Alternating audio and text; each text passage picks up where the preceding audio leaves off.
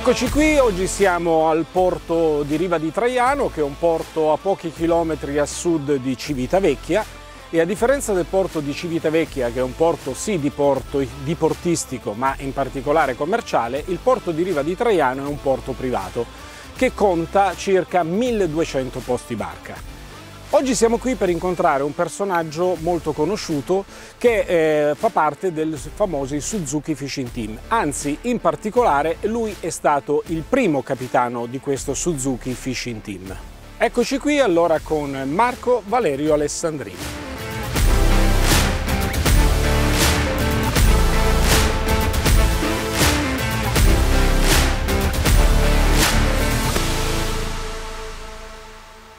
Ciao Marco, come stai? Grande, Lucky Luciano, finalmente. Eccoci qua allora, siamo qui con, eh, con, te, oggi abbiamo una giornata che ci hai dedicato, quindi? Giornata peraltro bellissima. Perfetto. Saliamo a bordo Saliamo della a bordo. gloriosa Idefix per fare un, così, una pescatina in profondità. Benissimo, allora andiamo. Vai.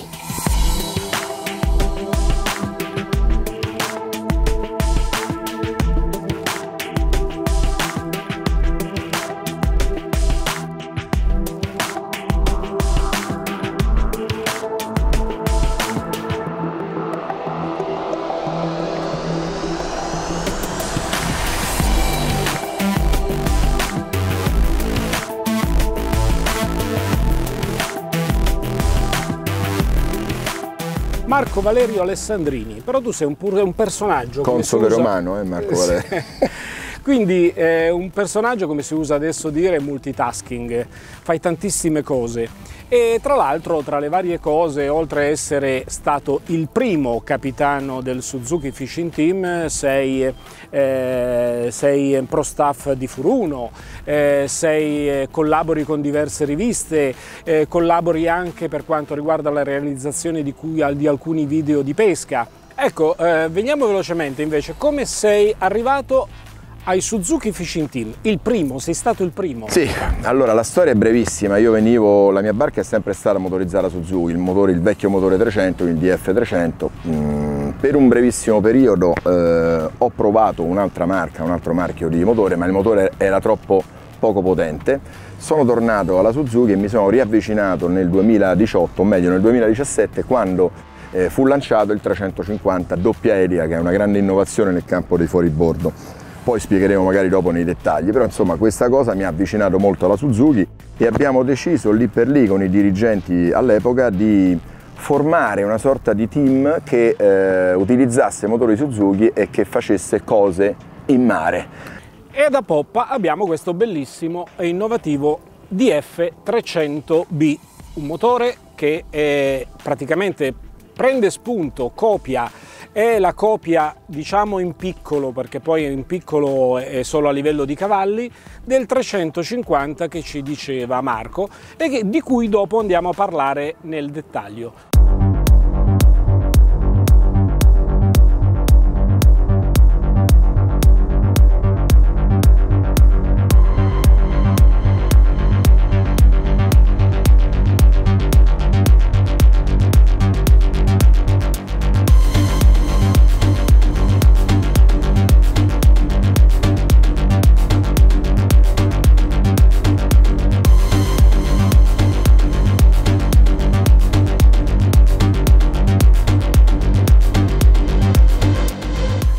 Marco, dopo quanto abbiamo navigato? Un'ora di navigazione sì, circa? un'oretta circa. Ecco, abbiamo percorso un po' di miglia.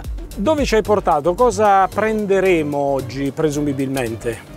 Allora, il target, siamo circa a 350 metri di profondità, il target è quello delle pezzogne, quindi gli occhioni, Besughi in Liguria, eh, ci sono innumerevoli nomi regionali di questo pesce che è molto ambito, molto buono e ora vedremo se effettivamente i pesci ci sono ma soprattutto se mangiano.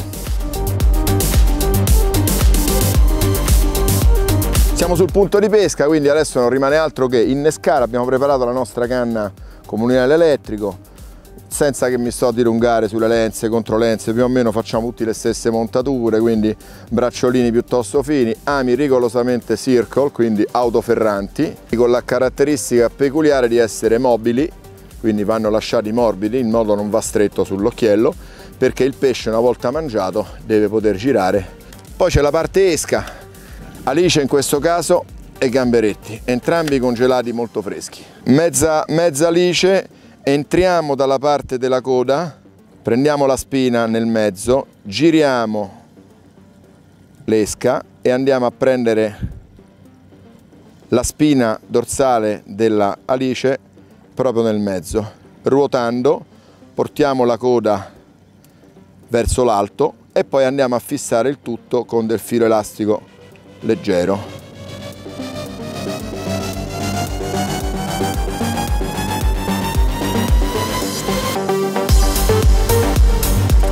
Ok, montatura preparata, abbiamo 8 ami in questo caso, azzeriamo il reset dello strumento e partiamo per l'abisso.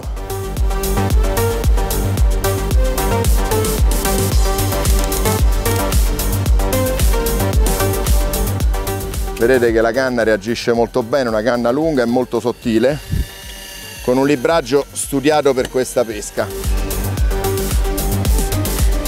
Ed eccoci qua, sì.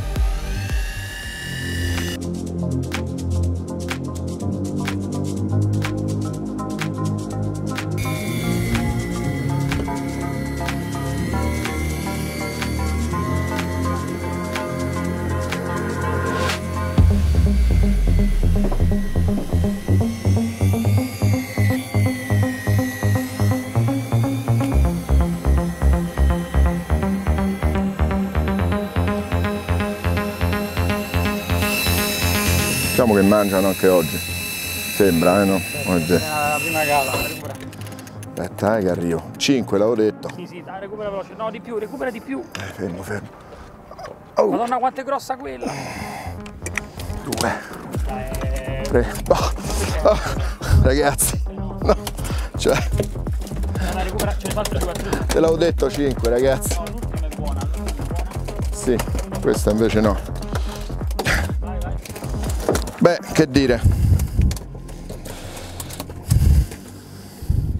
Ragazzi, allora come prima calata vi posso dire che sono addirittura emozionato perché questa pezzogna farà un chilo e mezzo ed è pari a un dentice. Se dovessi paragonarla ad un dentice direi che aver preso un dentice di 10 kg e odora clamorosamente di gamberetti, non chiedetemi perché ma è così.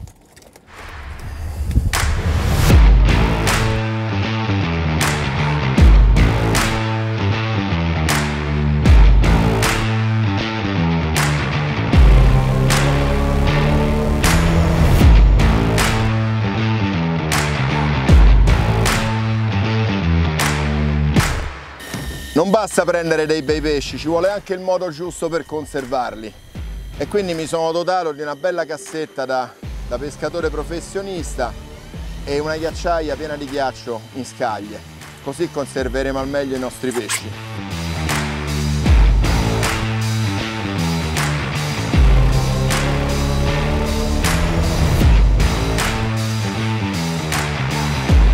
E quindi eccoli lì che mangiano, stanno mangiando copiosamente. Do una prima ferrata per rendermi conto dalla piega della canna se abbiamo dei pesci. Qualcosa c'è. Questo grossa testata mi fa capire che c'è almeno un pesce di taglia, quindi un pesce vicino al chilo c'è.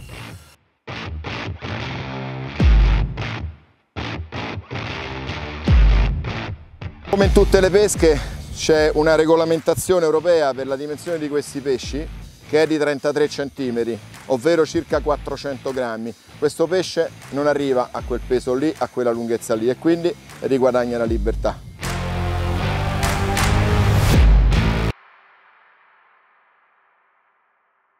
Allora Marco, siamo qui nel bel mezzo del mare, una giornata bellissima sotto tutti i profili, mare, sole e Pesce. anche tanto, Eh, per forza. il, il caldo non manca, però parliamo un attimino anche di ciò che ci ha permesso di arrivare sin qui e che ti porta tutti i giorni, quando hai tempo, di andare a pesca nei vari hotspot che tu scegli.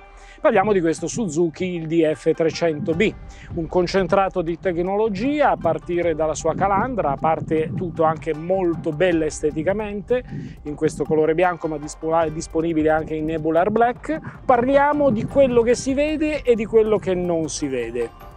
Quindi cominciamo dal dire che una delle caratteristiche principali più importanti di questo motore e che condivide col suo quasi gemello DF350A è il dual prop, cioè le, la doppia elica controrotante. Che benefici usandolo tu eh, hai riscontrato con questo tipo di propulsione? Beh, la differenza è stata notevole perché io venivo dal vecchio 300 DF300 e monoelica sono stato il primo a testare nel 2018 il 350 Dual Prop e per la mia barca, che è una barca molto tecnica, molto veloce, con una V profonda, una barca molto nervosa, quindi considerata sportiva per la pesca, è stata la differenza cioè, notevole perché eh, l'effetto evolutivo della monoelica, dei 300 cavalli che spingono una monoelica, eh, era, era, abbastanza visibile insomma e quindi mi creava dei problemi, dovevo raddrizzare, dovevo compensare con, il, con i flap, con l'utilizzo dei flap. Eh, quindi non appena montato questo motore la prima cosa che ho notato le due eliche contrastano questo, questo effetto evolutivo e quindi la barca va dritta, questa non è una cosa da poco per me. Poi c'è da dire, insomma, è molto performante ovviamente, i consumi sono un po' regolati da quello che è il, proprio l'utilizzo che uno ne fa, quindi i consumi sono direttamente proporzionali alla velocità con cui si vuole, a cui si vuole andare. Noi non siamo notoriamente corsaioli come pescatori, per cui a noi interessa molto di più il basso regime e la crociera. La crociera è quella che ci consente di arrivare velocemente, questa barca ha una crociera sui 26-27 nodi ed il consumo è di circa un po' meno di 2 litri, 2 litri miglio, che per le dimensioni della barca direi che è una cosa molto accettabile insomma. Quindi la cosa importante, questo è un motore molto performante dal punto di vista anche però è molto brillante, ha una coppia molto bassa, una potenza nelle, nei bassi regimi e so se lo sentite, si avverte, questo motore adesso è acceso, è acceso da 5 ore al minimo, adesso quando partiremo il motore non darà nessun cenno di essersi imbrattato, questi sono motori studiati per avere stessi, le stesse prestazioni ai bassissimi regimi o agli alti regimi. E questa per noi è anche una cosa fondamentale. Ecco, allora diciamo subito che eh, per quanto riguarda le prestazioni che diceva prima Marco, eh, intanto il sistema impiegato di alimentazione è un sistema tecnolog con tecnologia lean burn, quindi a, a carburazione magra, quindi eh, un, un, sistema interno permette di monitorare l'effettiva necessità di carburante di cui il motore eh, ha bisogno in quel specifico momento e ottimizza l'iniezione di questo carburante. Ciò comporta eh, dei risparmi anche del 14% sul consumo globale, che è parecchio su un arco di una giornata. Chiaramente, come diceva Marco, dipende da come lo si usa il motore, da quali sono le condizioni del mare. Un'altra cosa che ha detto sempre Marco interessante è che ha una coppia molto bassa, questo dovuto anche al fatto del, che utilizza un sistema VVT, quindi Variable Valve Timing, cioè regolatore di alzata delle valvole di aspirazione, che consente di avere una coppia sin dai bassi regimi di giri. Eh, un'altra caratteristica che questo motore condivide con il fratello più grande, il DF350, è il fatto di avere un sistema di alimentazione con doppio iniettore. Sono due iniettori sottodimensionati, o meglio, più piccoli, non sottodimensionati rispetto agli iniettori tradizionali, e questo permette di avere una vaporizzazione, una nebulizzazione del carburante all'interno della camera di scoppio eh, più precisa eh, in, eh, e quindi garantisce migliori prestazioni, una migliore combustione e anche minore eh, in, diciamo così, inquinamento dell'ambiente. Poi ricordiamo che è un motore che ha un rapporto di compressione di 10,5 a 1, quindi un'altra caratteristica molto particolare per avere bassi consumi. E poi il fatto che questo motore sia da tante ore in moto e sta gestendo una barca come questa, che potrei dire che Marco è quasi una centrale elettrica perché eh in sì. effetti c'è di tutto, eh. è garantito da un, eh, da un sistema, da un alternatore da 54 A che, ha, che dà il massimo della sua carica, del livello di carica già da 1000 giri. Quindi anche a basso regime di giri comunque ricarica 54 A. Questo dà la possibilità proprio di gestire e ricaricare anche stando fermi come adesso eh, una marea di servizi. Un'altra caratteristica poi che contraddistingue questo motore è che essendo un motore molto potente e che eh, surriscalda chiaramente nel suo funzionamento ha bisogno di un raffreddamento corretto. Quindi sui tecnici della Suzuki cosa hanno pensato? Che le tradizionali prese che stanno lateralmente sui piedi dei motori in certe condizioni non garantiscono un apporto costante di quest'acqua di raffreddamento. E allora si sono inventate due prese d'acqua nella parte anteriore del piede, quindi quella rivolta verso l'acqua. In questo modo l'ingresso d'acqua che servirà per il raffreddamento della componentistica interna del motore è diciamo quasi forzata e soprattutto costante non ha dei punti morti dove l'acqua non venga pescata. Così come ad esempio il sistema eh, di aspirazione dell'aria, che in questo caso non si vede ma è sotto la calandra, c'è un sistema di lamelle a zampa di cane, come sono state chiamate, che hanno la caratteristica di poter togliere, eh, eliminare delle impurità contenute nell'aria. Quest'aria poi viene mandata in dei condotti eh, particolari che portano eh, intanto quest'aria al, diciamo, alle camere di combustione, ma mh, oltretutto eh, raffreddano quest'aria e questo permette una combustione ancora migliore. Quindi la massima efficienza di questo motore è data non da un solo fattore, ma da tanti fattori messi insieme.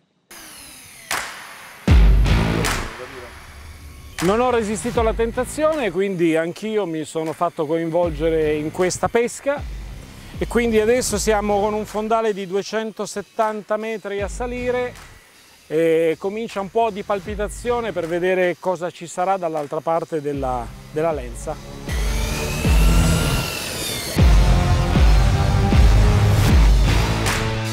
Bella?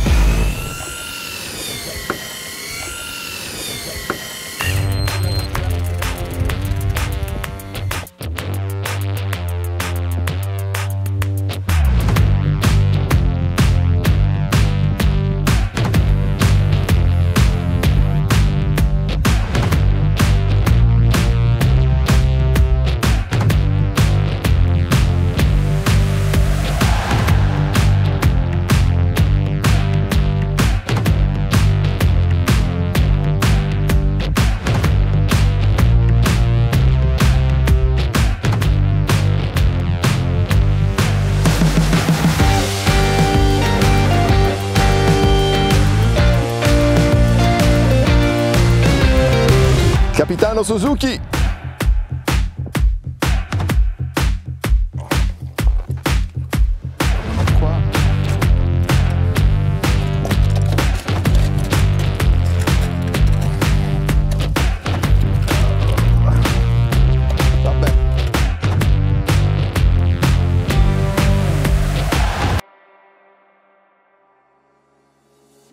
Allora, parlando di Suzuki, non si può fare a meno di parlare di altre due caratteristiche di questi motori, tecnologicamente molto avanzate, di cui una è il Suzuki Precision Control. Che cos'è? Allora, è un sistema che oggi come oggi sostituisce i vecchi cavi che controllavano la gestione acceleratore marce con un sistema elettronico drive by wire, quindi senza cavi. Eh, cosa comporta tutto questo? Sicuramente dei comandi più fluidi, come ci potrà dire anche adesso Marco, che porta questa imbarcazione tutti i giorni e soprattutto anche nelle manovre in porto, dove non c'è in più la sgranata che si faceva una volta, come si dice in gergo, nel passaggio marcia avanti e, e folle marcia indietro, ma anche il responsive del motore è molto più immediato, giusto? Assolutamente, io sono ormai oltre dieci anni che utilizzo solo motori con manetta elettronica e devo dire che poi rimettere le mani su una manetta tradizionale ovvero meccanica è sempre molto difficile cioè eh, la, la, diciamo, la, maneggevolezza che ha la manetta elettronica non ha assolutamente uguali insomma ecco. E diciamo che questo torna utile a un dipordista tradizionale, classico, perché comunque le manovre in porto sono comunque da fare, torna utile anche a chi pesca, perché ci sono delle manovre di pesca, soprattutto quando abbiamo il pesce in canna, in cui eh, occorre muoversi con rapidità, eh, inserendo la marcia, eh, accelerando, decelerando e quindi questi comandi che sono estremamente precisi tornano molto utili. Il, sec il secondo accessorio eh, che è molto utile per il settore della pesca è il troll control. Quindi il troll mod, come è chiamato, è semplicemente un regolatore di giri che porta il motore ad agire a un regime di giri molto basso e regolabile di 50 giri in 50 giri, in crescita e in decrescita, fino a un massimo di 1200 giri. Tempi duri per i pesci perché la tecnologia avanza velocissimamente, come tutto il resto d'altronde, e quindi Suzuki è all'avanguardia per quanto riguarda la tecnologia, è continuamente allo studio di qualcosa di nuovo che permetta di migliorare le condizioni di navigabilità, di eh, migliorare nei consumi, di rispettare l'ambiente, quindi il tema ecologia è molto sentito in casa Suzuki e quindi Marco le insidierà sempre di più. Questa è una sì, cosa... Sì. Eh? Ma noi siamo, a dire il vero, siamo pescatori sportivi, a parte io non sono un pescatore che notoriamente fa stragi, perché figuriamoci, no? io anzi, però normalmente insomma quando, quando ci capita di pescare bene ci diamo il nostro limite, come, così come una giocata al casino devi saper dire basta, perché altrimenti tornerai sempre perdente, quindi alla fine fare una strage di pesci perché quel giorno abboccano non è, non è etico, insomma, ecco, lo dico proprio col, col sorriso sulle labbra perché effettivamente è così, anche se c'è un limite della legge, ma spesso non viene rispettato e quindi auguriamoci che più persone lo facciano.